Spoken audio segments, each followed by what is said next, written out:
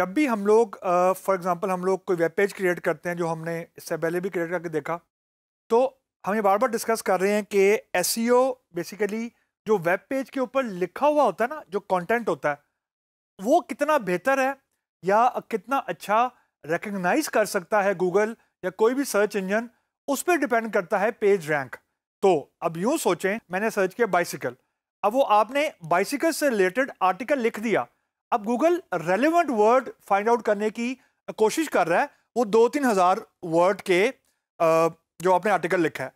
तो at the end of the day हमने Google की ज़िंदगी आसान करनी है, ताकि आपका जो कंटेंट है, वो उसको ज़्यादा समझ आ जाए।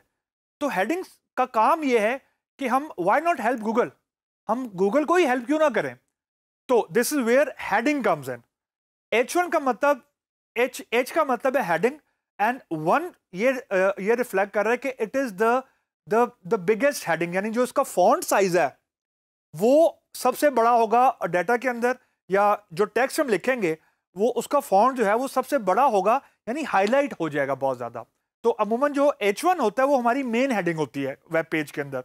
ये रिकमेंडेड है मतलब अगर मैं या आप ये फॉलो नहीं करेंगे तो हमें कोई कुछ नहीं कहेगा। लेकिन फ़र्क सिर्फ़ ये पड़ेगा कि जो एस e का परस्पेक्टिव है या जो एस e के परस्पेक्टिव में हम डिस्कशन कर रहे हैं ये एक अच्छी प्रैक्टिस कंसिडर नहीं की जाती। इसी तरह एच टू है।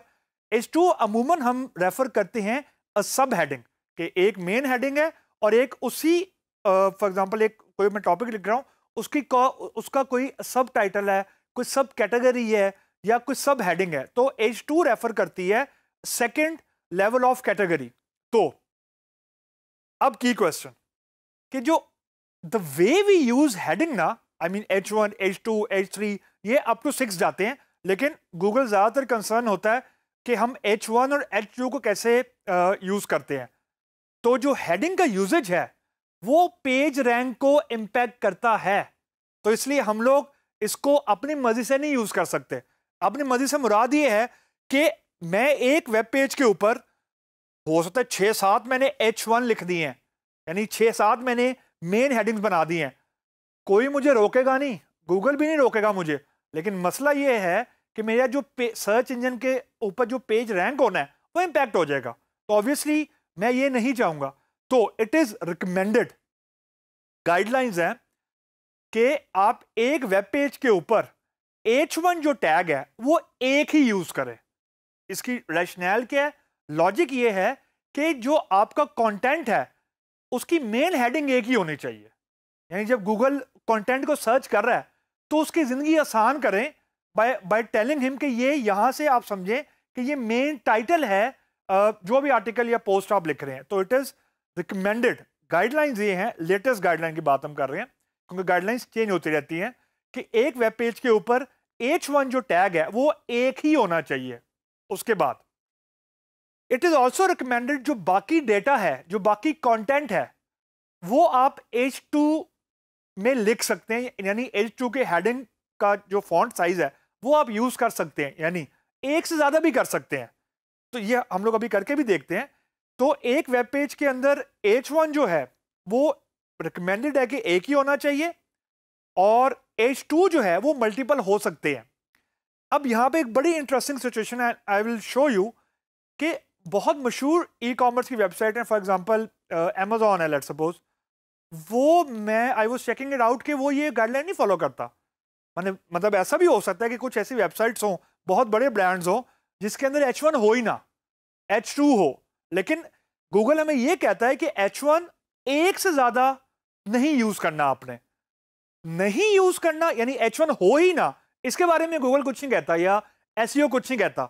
एस e में सिर्फ़ ये कहता है कि एक से ज़्यादा एच वन नहीं होना चाहिए। This is very interesting actually and the last point H one and H two की जो हेडिंग्स है ना, वो कुछ डिस्क्रिप्टिव होनी चाहिए। ये डिस्क्रिप्टिव से मैं क्या मुराद ले रहा हूँ? डिस्क्रिप्टिव से मुराद ये कि समझ आ जाए।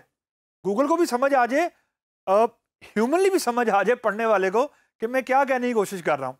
And last but not the least I will show you एक वेबसाइट है जिस पे अगर लेट सपोज़ मैं अमेजन डॉट कॉम लिखता हूँ, दराज डॉट पी के लिखता हूँ कोई भी वेबसाइट का यू लिखूँगा तो वो मुझे जो टूल है, वो टूल ये बता देगा कि इस वेबसाइट के अंदर या इस वेब पेज में पर्टिकुलरली कितने एच वन यूज़ हुए हुए हैं, कितने एच वन यूज़ हुए हुए हैं, कितने एच थ्री यूज़ हुए हुए हैं and so on which is very helpful when we are optimizing the data तो let me just show you कि एच वन एच टू से एक्चुअली मुराद क्या है। उसके थोड़ा एच का कोड हम लोग देख लेते हैं। अब ये वही हमारा एच का टैग है। और उसके बाद मैंने टाइटल लिखा हेड का जो टैग है उसके अंदर मैंने टाइटल लिखा। हमारा जो इंटरेस्ट है ना वो ये बॉडी के अंदर जो मैंने चीज़ें लिखी हुई हैं।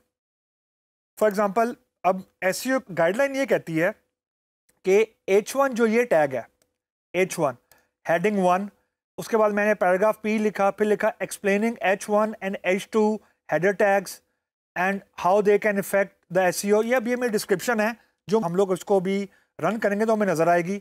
उसके बाद एच टू का टैग है। अब एच टू के टैग में लिखा हुआ है हेडिंग टू और header one tags is usually the largest और ये सारा मैंने कुछ कॉन्टेक्स लिख दिए, कुछ कुछ भी मैंने डिस्क्रिप्शन लिख दिए पेज की।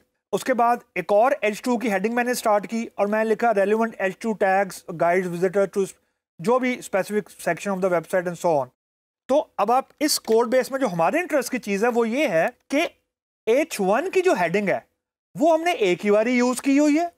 और जो एच टू की हेडिंग है, वो हमने एक से ज़्यादा मरतबा यूज़ की हुई है और यही हमें गाइडलाइन कहती है।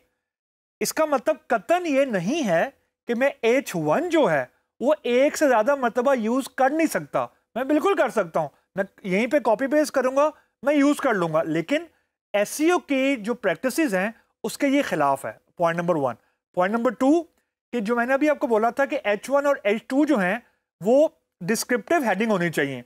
Look at the last H two heading two और मैं लिखा है the next step is dot dot dot dot अब ये जो डॉट डॉट डॉट का यूजेज है ना, इसको अमूमन एस e की वर्ल्ड में ना हम लोग बोलते हैं किलर क्योंकि आप गूगल को मिसलीड कर रहे हैं। यानी आप एस e को ये बता रहे हैं कि आप कुछ लिखना चाहते हैं, लेकिन आपने लिखा नहीं है। तो इसकी पेनल्टी होती है it is consider to be a very bad practice कि जो आपका कंटेंट है, उसके अंदर डॉट डॉट डॉट आ जाए। तो ये एस e की हिसाब से बहुत बुरी ये प्रैक्टिस है। अब इस कोड को रन करके देखते हैं। इसको आप एच के तौर पर सेव कर लें जस्ट लोड इट यानी सी में रख लें, मैंने डेस्कटॉप पर रखा हुआ है, यानी जब आप इसको एच के तौर पर सेव करेंगे तो this is how this file will come ये फ़ाइल पड़ी हुई है, मैंने सेव किया, इसको रन किया ब्राउज़र में। तो अब देखें हेडिंग एच वन जो मैंने एच वन लिखी थी, उसकी हेडिंग का साइज़ देखें, सबसे बड़ा उसके बाद explaining H one and H two and header tag how they can affect S ये जो कंटेंट है, ये देखें, ये यहाँ से आ रहा है। उसके बाद, यानी ये वाला सारा कंटेंट आ रहा है। उसके बाद हेडिंग टू है, ये हेडिंग टू है। उसके बाद relevant header two tags provide visitors to सारी डिटेल्स यानी जो ये वाला सारा कंटेंट है, ये नॉर्मल है, और ये हेडिंग टू है, ये हेडिंग वन है, ये हेडिंग टू है and look at the last thing the next step is dot dot dot dot dot dot dot याद रख लें और इसको कहीं मतलब जैन नशीन कर लें कि डॉट डॉट डॉट आपके कंटेंट में नहीं आना चाहिए। गूगल इसकी पेनल्टी एट टाइम लगा देता है, यानी आपके वेब पेज को, यानी आपको फाइन भी किया जा सकता है। इट इज़ वेरी सवियर तो ये आप कतन नहीं कर सकते। इस वेबसाइट पे आप जाएँ। लेट सपोज़ ये वेबसाइट है, एक ऑलरेडी बनी हुई है। S review tools dot com H M L heading checkers ये वाली जो वेबसाइट है। सिर्फ़ आपने यहाँ पे वेबसाइट का यू देना है। लेट सपोज़ मैं देता हूँ यहाँ पे, और एच में दीजिएगा। मैं यहाँ लेट सपोज़ अमेज़ोन लिख देता हूँ। अमेज़ोन डॉट कॉम तो ये टूल आपको ये बताएगा कि अमेज़ोन डॉट कॉम जो है, इसके ऊपर, यानी इसके अंदर कितनी H one H two tag use हुए हुए हैं। तो it is a very interesting tool ये आपको पेज को एनालिसिस करके बता देता है। लुक हेयर अब अमेज़ोन के अंदर no H one heading tag found यानी एच वन ज़ीरो है एच टू आठ है H three H four zero है एंड सो ऑन तो ये बेसिकली एस की जो प्रैक्टिस हैं, उसे कंप्लाइंस कर रहा है। यानी एच वन एक से ज़्यादा नहीं होना चाहिए, लेकिन यहाँ ज़ीरो है। तो it is less than one let suppose मैं यहाँ पे दराज डॉट पी के लिख देता हूँ।